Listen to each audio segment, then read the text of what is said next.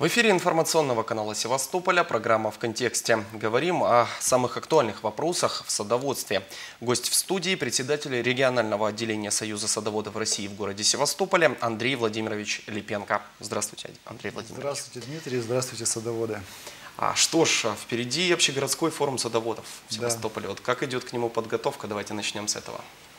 Да, действительно, 19 ноября в 14 часов на Ленина 25. Это Севастопольский центр искусств СЦКИ. Э, будет проходить в 14 часов общегородской форум садоводов. Э, на него приглашены, э, приглашены достаточно большая масса людей. Сейчас занимаемся тем, что объезжаем с приглашениями руководителей департаментов профильных, органы государственной власти, правительство Севастополя, э, законодательное собрание, э, глав муниципальных образований. Также профильные у нас есть департаменты, это сельского хозяйства и перерабатывающей промышленности. Есть у нас экономики департамент, городского хозяйства. То есть садоводы это достаточно большой спектр услуг нам город оказывает. И в каждом департаменте у нас есть э, свои вопросы, предложения. Так вот потихоньку мы объезжаем, приглашаем всех. А э, какие основные вопросы вынесут на рассмотрение? Основных, э, основных вопросов подготовлена вообще тема форума – это проблемы садоводов и пути их решения. Это достаточно объемный получился перечень а, в него вошли 10 основных вопросов, а, среди которых в первую очередь это вопрос а, земли. Так. Вопрос земли, который сильно очень волнует сейчас садоводов. Вопрос земли, приватизация и вопрос, э, который, в который попали десятки садоводческих объединений, которые не успели до 1 марта 2015 года привести свои учредительные документы в соответствии с российским законодательством. Э, к сожалению, по разным причинам руководители э, не успели э, проделать такую процедуру, и сейчас вот по некоторым данным около 50 садоводческих объединений совсем в Российской Федерации не значатся как юридические лица. То есть фактически их нет председатели почему-то не спешат их регистрировать.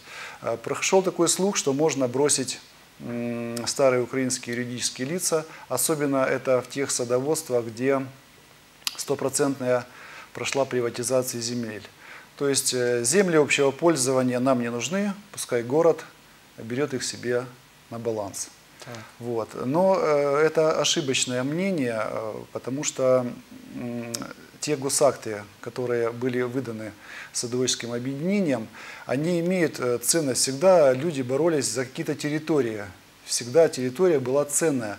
Поэтому люди по этим дорогам двигаются, они в дальнейшем ну, передвигаются, ездят машины, на каких-то территориях в дальнейшем э, можно поставить здание правления, можно поставить трансформаторную подстанцию. Если не будет этих земель, соответственно, садоводам снова придется запрашивать у города э, земельные участки для каких-либо своих нужд.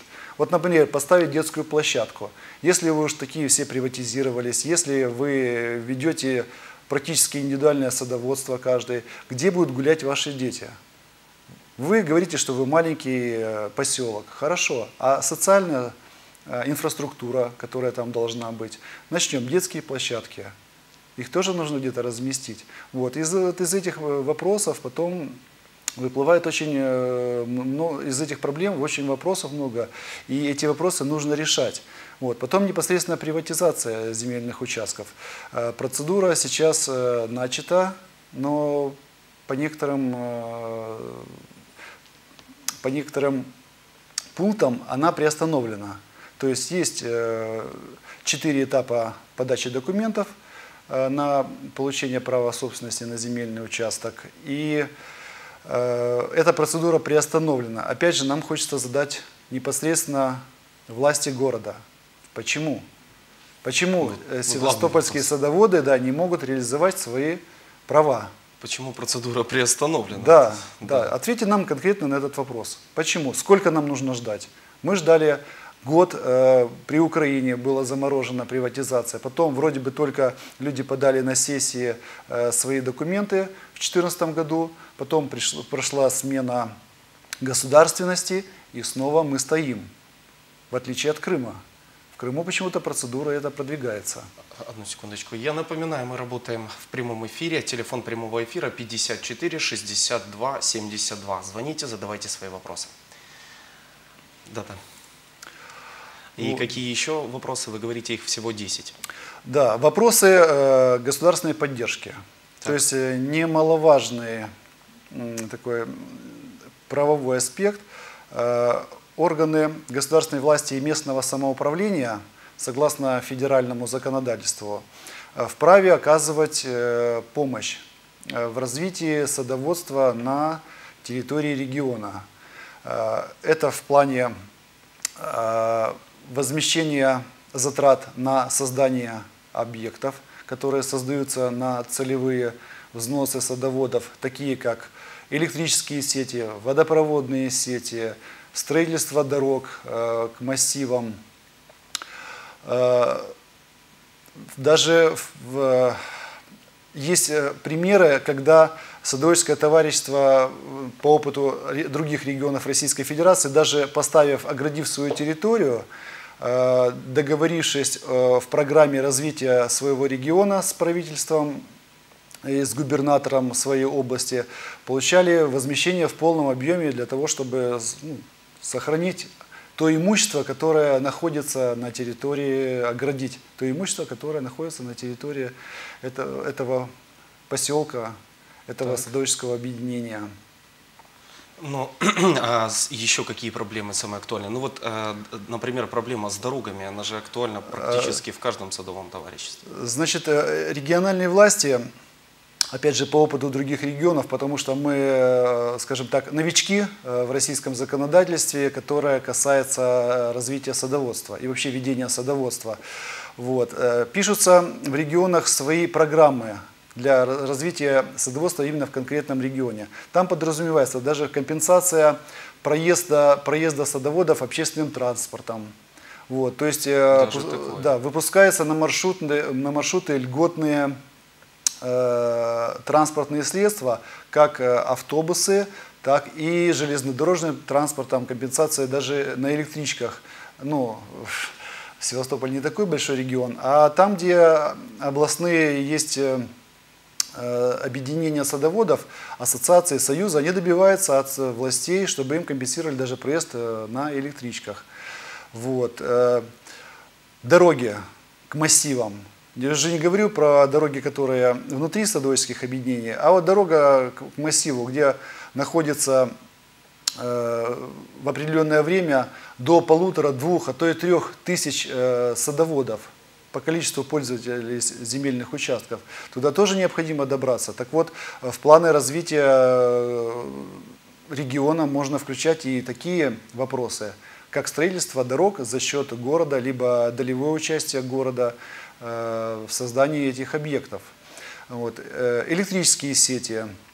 Вот сейчас э, в городе стали появляться так называемые энергетические компании. Вот их вопроса хочется отдельно коснуться.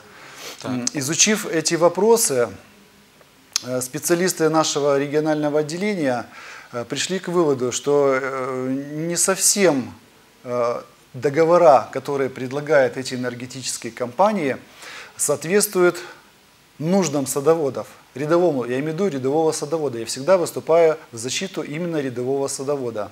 И в чем они не соответствуют? А, ну, в первую очередь, э, для, для рядового садовода интересна стоимость э, оплаты ну, за 1 киловатт-час электроэнергии. По Севастополю эта цена колеблется от 2 э, рублей ну и до 4,5 рублей. Хотя так. по по э, утвержденным тарифам у нас э, тариф за электричество составляет 1 рубль 84. Э, некоторые председатели, руководители этих объединений говорят, что нам необходимо покрывать технологические потери. Вот. сетевые компании готовы, не все, правда, взять этот вопрос на свои плечи, решение этого вопроса.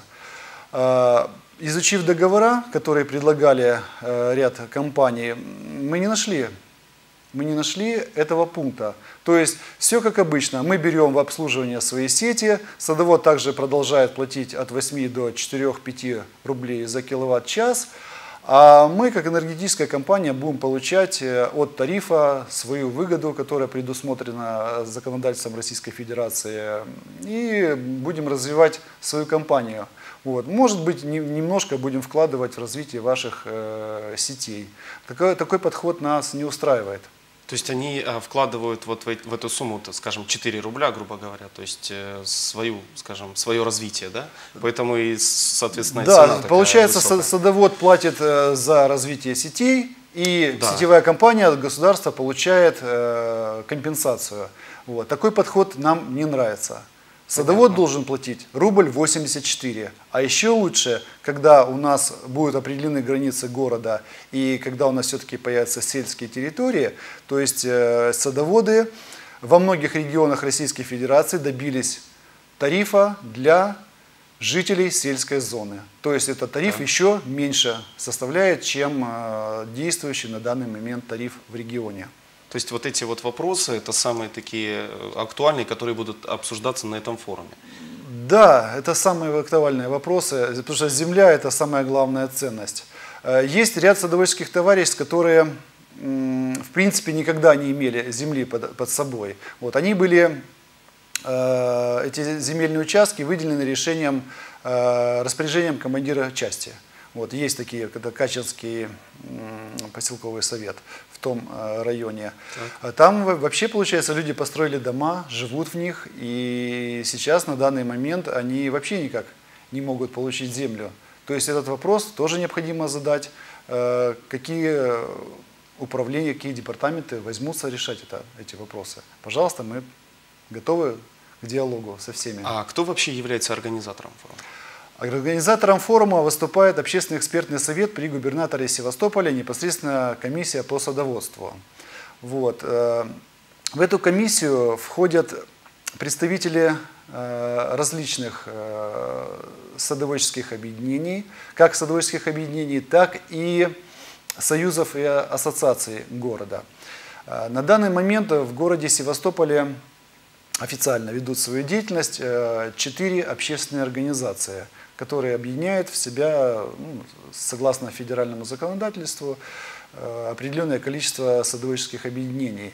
Вот. Это Союз садоводов России, региональное отделение общероссийской общественной организации, э, потом Ассоциация садоводов Севастополя, э, Садоводы Гераклеи, недавно зарегистрированная организация, и Совет садоводов, огородников и дачников Севастополя. Вот четыре организации, которые официально зарегистрированы в юстиции города Севастополя и которые имеют право вести свою деятельность на территории города. Все, у них всех задача отстаивать права садоводов. Чем мы, в общем-то, и занимаемся. Да, спасибо вам большое за ценную информацию, за то, что пришли к нам в студию, нашли время. Спасибо большое. Это была программа «В контексте». Следите за развитием событий вместе с информационным каналом Севастополя. До скорой встречи в эфире.